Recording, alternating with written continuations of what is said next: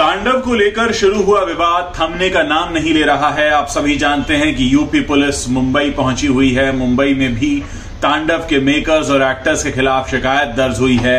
उधर कंगना रनौत ने भी एक ट्वीट किया था, क्योंकि जिस तरह से तांडव में हिंदू देवी देवताओं को और हिंदू आस्था का अपमान किया गया है उसको लेकर, कंगना भी काफ़ी गुस्से में थी और उसके बाद खबर यह सामने आई कि कंगना रनौत का ट्विटर अकाउंट भी रेस्ट्रिक्ट कर दिया गया इसके बाद कंगना रनौत और भी गुस्से में तमतम गई और उन्होंने एक ट्वीट किया, जिसमें उन्होंने साफ़ तौर पर लिखा कि जितने भी लिबरल्स हैं, वो बड़े चचा जैक के पास पहुँचे। एक्चुअली ट्विटर के को फाउंडर का ज़िक्र कर रही हैं यहाँ पर।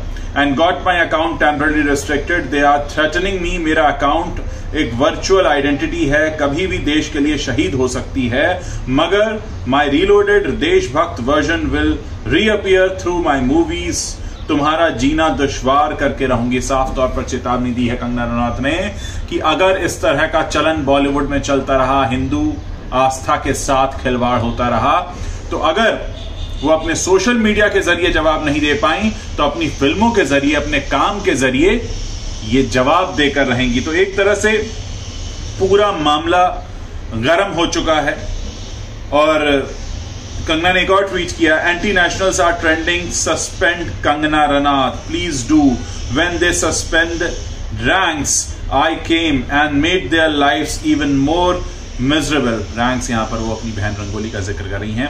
Now if they suspend me will exit virtual world and in real world will show you real Kangana Ranaut the mother of all fathers hashtag Babbar शेरनी साफ़ तौर पर उन्होंने कहा है कि मैं इस तरह की धमकियों से डरने वाली नहीं हूँ। ये वर्चुअल आइडेंटिटी है आइडेंटिटी है ये मेरी, जिसको मैं किसी भी समय अपने देश पर कुर्बान कर सकती हूँ। लेकिन जिस तरह की खिलवाड़ की जा रही है, जिस तरह का खिलवाड़ किया जा रहा है, उसका जवाब मैं रियल वर्ल्ड में आकर दूँगी रियल तरीके से दूँगी।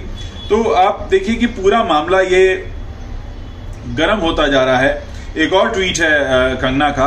गद्दारी और वफादारी खून में भी होती है। Glad I come from a blood line of warriors who fought for the integrity of Akhand Bharat even if I wasn't a Hindu I would have chosen to be a nationalist हम वो नहीं जो अपनी ही थाली में छेद करें।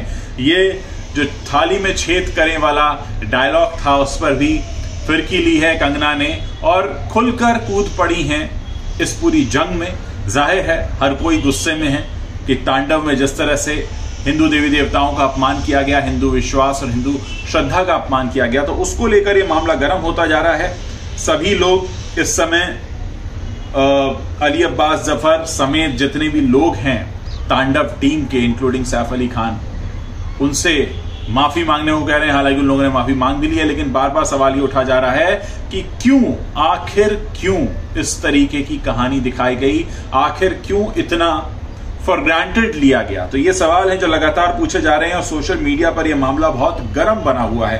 कंगना रनौत इसमें पूरा खुलकर सामने आ गई है। हमने पहले भी देखा है कि कंगना रनौत जब किसी पक्ष को लेकर सोशल मीडिया पर आती हैं तो मामला इसी तरह से गर्म हो जाता है। आप लोग तांडव की कंट्रोवर्सी पर क्या सोचते हैं? क्या आपको लगता है कि तांडव में जो हुआ और उसके बाद जिस तरह से रिएक्शंस आए पूरे देश से, अब कभी कोई फ़िल्म मेकर या टीवी शो या वेब शो बनाने वाला प्रोड्यूसर इस तरह का काम कर पाएगा। हालाँकि इस तरह काम बहुत पहले भी होते रहे। पाताल लोग को भी लोगों ने उदाहरण दिया था कि किस तरह एक एक फीमेल डॉग का नाम उसमें सावित्री बताया गया था। इस तरह के कई बार इस तरह की कोशिशें हो चुकी हैं और बार बार लोग ये कहते हैं कि एक हिंदू धर्म को लेकर ही क्यों इस तरीके के प्रहार किए जाते हैं।